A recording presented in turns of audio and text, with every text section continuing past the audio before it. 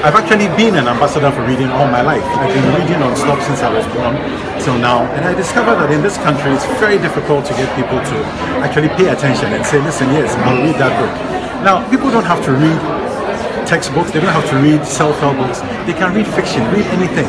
But my job is to just make that aware to everybody that at least start reading something. It can be anything. Start with the daily graphic and move on from there. And to be an ambassador is what is important to me.